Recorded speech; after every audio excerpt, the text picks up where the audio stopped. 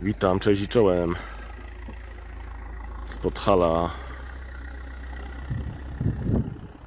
troszkę nam przysypało. Około 15 cm. No i i co? Przyszedłem jak zwykle od odmrozić gościa, bo nie pokazuje nic. 0,0 metra na sekundę. Także trzeba go od odlodzić, że tak powiem. Bo niestety znowu zamarzł. Gościu. No i taka zabawa.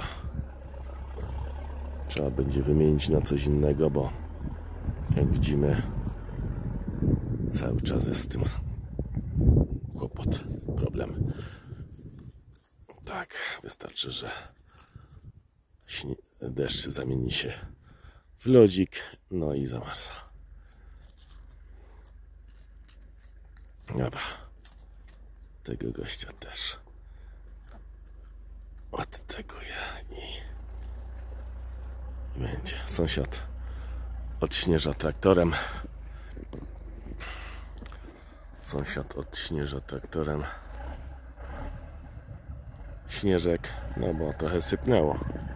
Jak widzimy, biało się zrobiło od razu. No i co?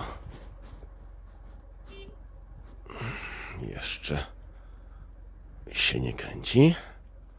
Gościu.